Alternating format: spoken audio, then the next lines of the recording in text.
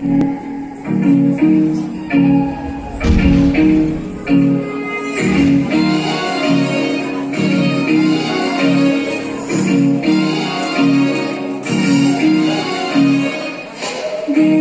you